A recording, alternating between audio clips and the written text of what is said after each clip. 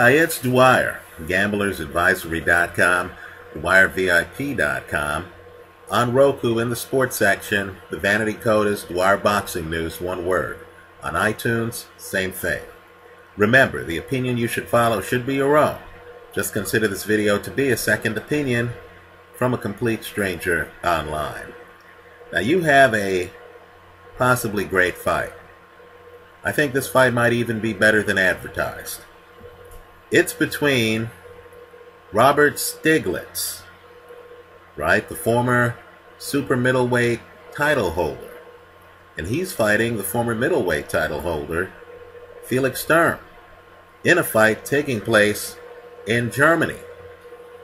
Now, if you look up the odds, depending on the casino, you're going to see this is an even money fight across the board at some places right? These two, according to the casinos, are evenly matched.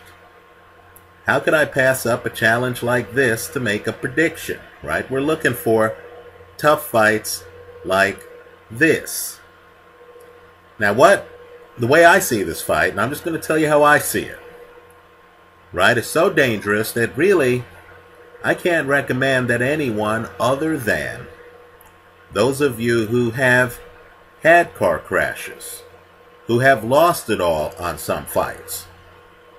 Bet on this, right? Because it's really only the venture capitalist types, the gamblers who understand that there are going to be car crashes, that there are going to be days where even the best bets you've made, right? The most well reasoned bets fail, right? It's only people who have suffered losses on bets who should even consider betting on this fight because there's way too much uncertainty.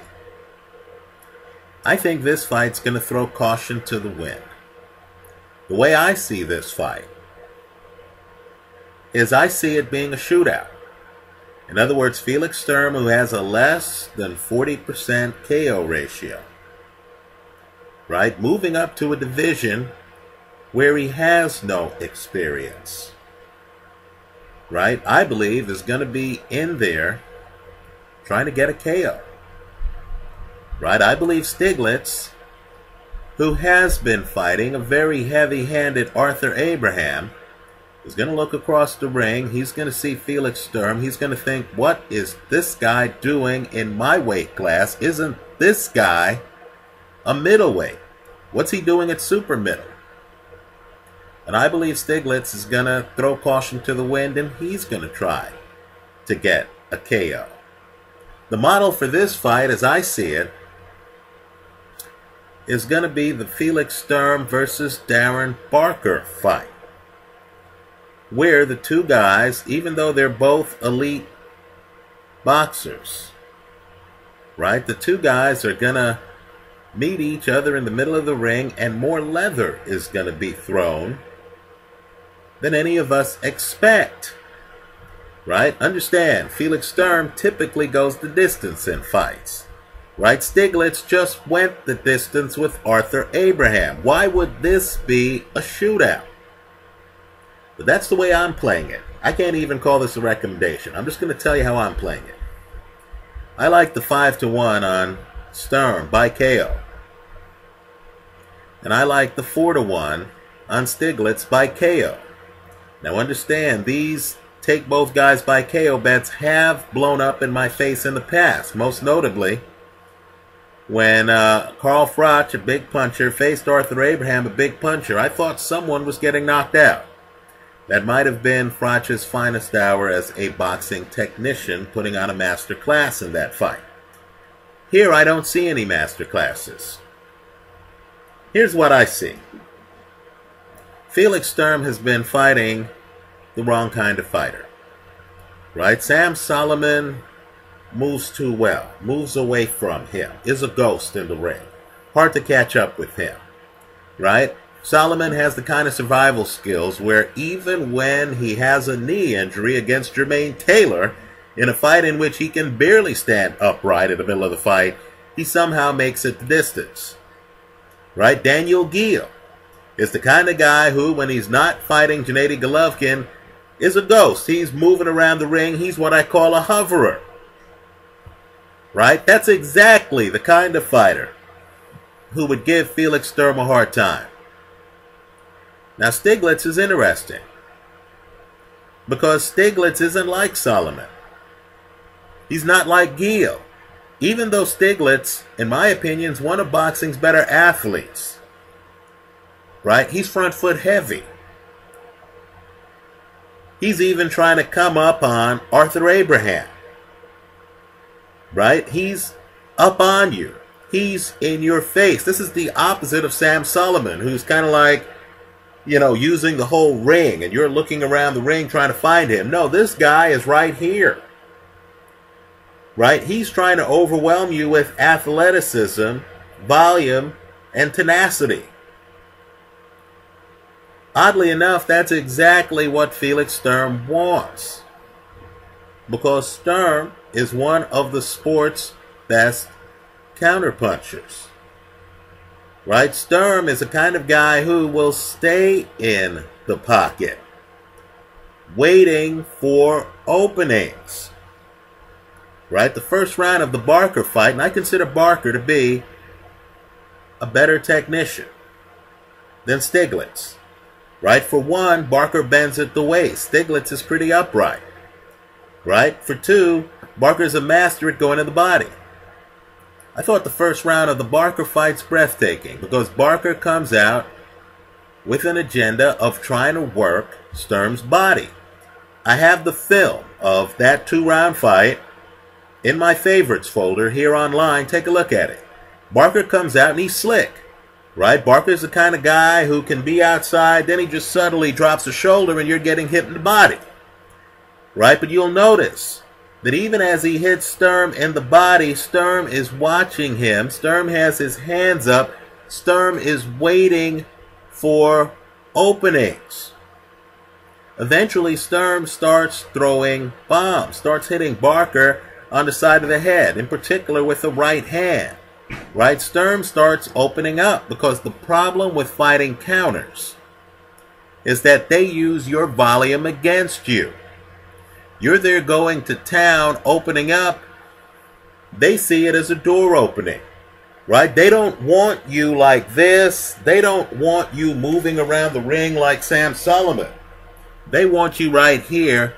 They want you throwing punches. They have a defensive shell. Their attitude is, hey, he'll throw, hit my elbow. I'll have a clear shot on it. I believe Felix Sturm is coming up to the 168 pound weight class to try to show us that he has power. I know that sounds ridiculous. Understand, I've had nights where I've flatlined on bets. No question about it. Right? These are the kind of risks people take. But I'm looking at Sturm. I'm looking at the guys he's been fighting. These guys staying away. I look at the Barker film, the one guy who's right there trying to trade with him, post Matthew Macklin.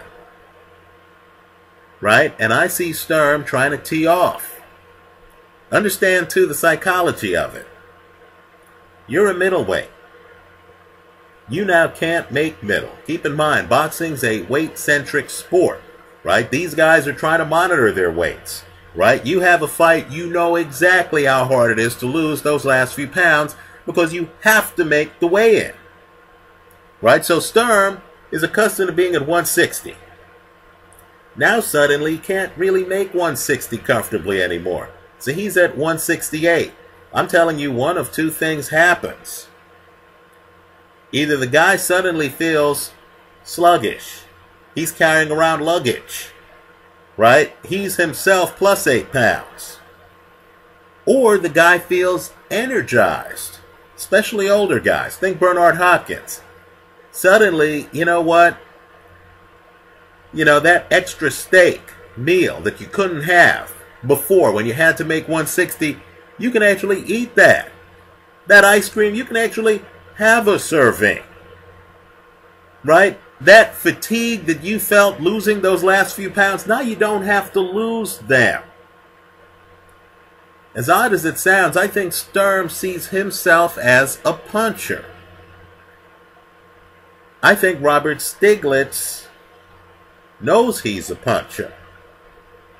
That's why he's in front of Arthur Abraham. Who else would be in front of Arthur Abraham trying to hit a home run as repeatedly as Stieglitz does round after round? Folks, the reason he gets caught in the 12th round of the third fight, right, is because, you know, the guy's hanging around, right? He's not, his mindset isn't such where he's on his back foot and he's thinking, hey, man, you're not going to catch me. It's late in this fight.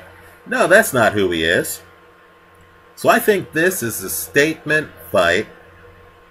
Don't overlook the pride of fighters. These are two guys who both believe they're the king of Germany. Right? These are two guys who really do believe that they are the top.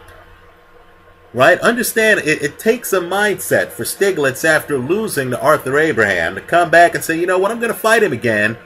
Take a look at that rematch. Right? Stieglitz loses the first fight. Take a look at who he is in the second fight. He's on his front foot. That's the mindset. Right? These guys, in my opinion, don't know how to run.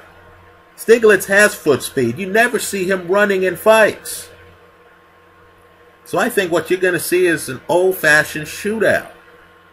Just like you saw in Sturm versus Darren Barker. Right? Understand, both of those guys had skills, boxing skills. Both of those guys could have tried to prolong that fight. Neither guy did. I think this is a statement fight I don't see either of these guys backing away like Hopkins did when he gained weight to fight Antonio Tarver. I think this is a different mindset. I think Sturm, who at times looks, you know, cute in the ring, has one of the sport's best jabs, I think Sturm privately views himself as a puncher. I think Sturm's been disappointed that he's been in the ring with ghosts, right? Guys who hover and don't want to engage him. I think Sturm is chagrined by the fact that people feel, in fact, people know, let's get real, that Matthew Macklin got robbed. Right? So I'm expecting Sturm to try to meet fire with fire. I'm expecting Stieglitz to be the lead here, come in, try to hunt Sturm down. Why? Because he views himself as the bigger man. Right? I'm expecting Sturm to stay in the pocket right? To literally wait for counters. I'm expecting somebody in this fight to get stopped. Right? It's high risk because even the last Stieglitz Abraham fight went the distance. Right? Understood. It's high risk because Felix Sturm, when he's not fighting Darren Barker, ends up going the distance with guys like Sam Solomon multiple times. But styles make fights right? Both of these guys really are hunters. This is hunter versus hunter. This isn't hunter versus hunted. Right? Stieglitz has great legs. He doesn't want to use them on his back foot. Right? These guys are here to make a statement. Sturm understands he needs to make a splash at 168. I don't see this fight being a photo finish. I see this fight being a shootout with somebody getting caught. So I'm taking both guys by KO. Just understand though, of all the bets I make here online, or all the all the picks I make here online, picking a guy to win by KO is by far the most dangerous. I picked Vitaly Klitschko to win by KO over Shannon Briggs. I thought Shannon Briggs was on fumes for several rounds in that fight. He was getting shellacked. But don't underestimate the heart of a lion. Some of these fighters will do whatever it takes to go the distance. Somehow Shannon Briggs was still there at the end of the 12th round. Right? One of these guys is going to get battered right? The question is whether the guy decides, okay, tonight's not my night, and steps away, like Sonny Liston in giving up his heavyweight title years ago against Cassius Clay. Right? I believe somebody gets stopped. That's how I'm betting it, and the casino's rewarding me with 5 to 1 odds and 4 to 1 odds. They're either rewarding me or suckering me into donating funds. That's how I'm playing this. Let me know how you're playing this because this is a fight with no favorite. Right? Leave your comments for us all here in the comment section to this video. I'm just here to tell you a fight like this in Germany is going to be beyond electric. People don't know what to expect. It's in fights like this. Think Leonard Hearns. One, where boxers show up and they want to prove something to all of us. They don't show up thinking, hey, I'm going to win a beauty pageant here. No, no. They think, you know, they show up saying, okay, this is the moment I'm here to make a statement. One of these guys is going to make a statement. I believe the other guy is going to be knocked out. That's how I see it. Let's hear how you see it. Thanks for stopping by.